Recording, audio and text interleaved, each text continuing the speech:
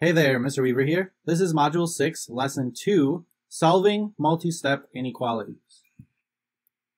After this lesson, you need to be able to solve multi-step linear inequalities. Let's learn. Solving inequalities involving more than one step. In the previous lesson, we learned all the different things to solve one-step equalities, such as adding to both sides, subtracting to both sides, multiplying to both sides, or dividing to both sides. They follow the same rules and procedures as solving for equations. When there's more than one step, it also follows similar to equations. So step one, isolate the variable terms on one side and the constant terms on the other using addition or subtraction. Then, step two, multiply or divide to isolate the variable. If we have to distribute or combine like terms, we would also do those ahead of time. Example 1. Apply multi-step inequalities. Our real context here is publishing. Susie wants to self-publish her comic book. One printing company offers to publish the book for a $220 flat rate plus $3 per copy of the book. Her maximum budget is $400. Part A, write the inequality. So we're going to write our inequality for the cost of this.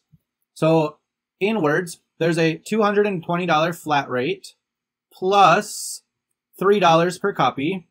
And then she can spend at most, because her maximum budget is $400. Putting this as an inequality, we would say 220, they're only going to pay that once. There's no variable. Plus $3 per copy. So 3 times x. How many ever copies? We would multiply it by 3. Is at most so she cannot spend more than that. So it's the less than or equal to symbol. And then 400. Squishing that all together, we end up with 220 plus 3x is less than or equal to 400. Now, to solve and figure out how many copies she can do, we would first subtract 220 from both sides. That gives me my x variable term by itself on the left. Then, to solve for x, I would divide both sides by 3, and I would end up with x is less than or equal to 60. I do not need to flip the inequality sign because I did not divide or multiply by a negative. So, Susie can have up to 60 books printed while not exceeding her budget. So if she did 60, she would spend exactly 400 if she did 59, she'd only spend 397 and so on. As long as she doesn't do more than 60, she's good. Check your understanding, read through the situation, and write the inequality that represents the situation. For now, just write the inequality. Pause the video now and complete the check.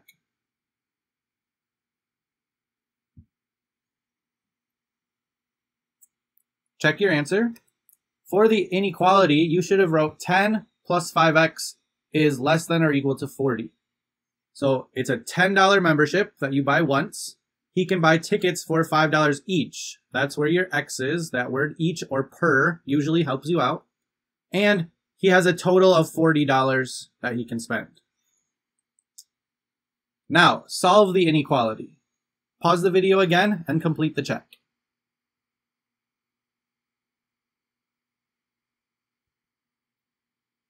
Check your answer. You should have said that x was less than or equal to 6. Or if we wrote it in set builder notation, maybe we should have that x with the line and our brackets. So all values of x when x is less than or equal to 6. This is another situation to be careful of when it's asking you for possible solutions. Can you buy negative tickets? Definitely not. Can you buy half tickets or decimal amounts of tickets? No. So this is one of those discrete functions where you can only buy certain values, less than six of them. So really just zero, one, two, three, four, five, and six. Example two, write and solve a multi-step inequality.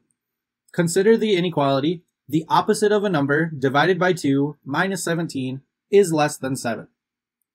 So translate that sentence into an inequality. Translating just means you're writing it into math. So we're going to pick out our words here. I'm going to start with I see is less than. I know that it's that simple. Is less than 7. So at the end, I already did that part. Is less than 7. It doesn't say less than or equal to, just less than. The opposite of a number. So that would mean that it's negative of a number divided by 2 minus 17. What would this look like altogether? So negative x divided by 2, take away 17, is less than 7. Sometimes it helps to say it out loud or continue to read it over and over as you are writing it so you get the correct translation. Now let's solve. So to solve this, we would first add 17 to both sides to get that x closer to being by itself. Then it's negative x divided by 2. So I would have to multiply both sides by 2. Finally, it's really just negative 1x. It's not positive x. I still have to divide both sides by negative 1. And because I divided by a negative, I have to switch the inequality sign. So my final solution would be x is greater than negative 48. Now let's graph that on a number line. So looking at the symbol, it should be an open circle at negative 48. And if x is greater, the greater numbers are to the right, so my arrow would point to the right. Example 3. Solve an inequality with the distributive property. So solve this inequality, then graph the solution on a number line. Going through, we can see we have sets of parentheses with a value outside.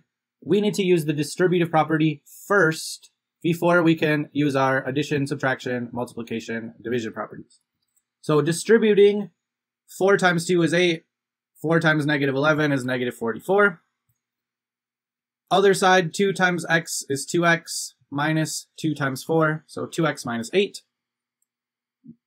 I'm going to simplify this side. I see there's a minus 12 and a minus 8. They're both constant numbers, so I'm going to combine them and get negative 20 bringing down the rest.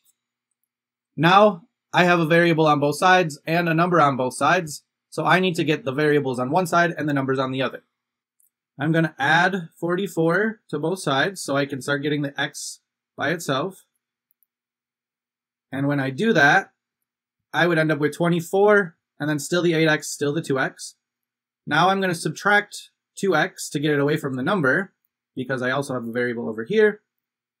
8 minus 2 is 6x, and then the 24 bring down. Finally, divide both sides by 6.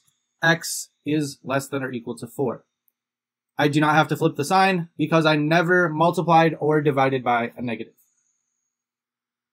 Now, if I need to graph it, so I said that x was less than or equal to 4. So my closed circle, again, I can see the symbol right there. It doesn't change.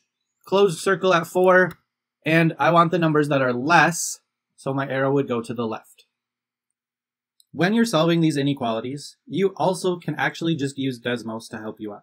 So whether it's a simple inequality like 4x is less than or equal to 16, it can help you to determine the answer. So if you notice, when I typed in an inequality, it gave me a colored or shaded region. Notice the line is dashed. That's like a open circle, not colored in. I can see that from the symbol over here.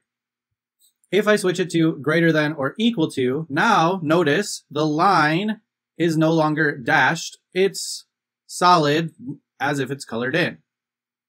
Then to find your answer, just click on the line. Wherever it crosses the x-axis, this crossed at 4. So that's where you would put your circle. And then what direction is the arrow going? Just look for the shaded area. It's shaded to the left. Your arrow would go to the left. So if I want to use this on real complicated problem, such as the one we just did, I can see where does it cross? It crosses at 4. It's a closed circle because the line is solid and my shading must go to the left, which is what we got for our answer. So to be honest, if you can learn how to use Desmos and the connections between this and the graphs, you shouldn't get inequality solving wrong. The problem is you need to know what you're typing into Desmos. And usually that comes in the format of word problems. As long as you can write your equation or inequality from a word problem, remember, you can also use Desmos to help you out. Check your understanding, solve the inequality, and graph on a number line. You may use Desmos to help you out or to check your answer. Pause the video now and complete the check.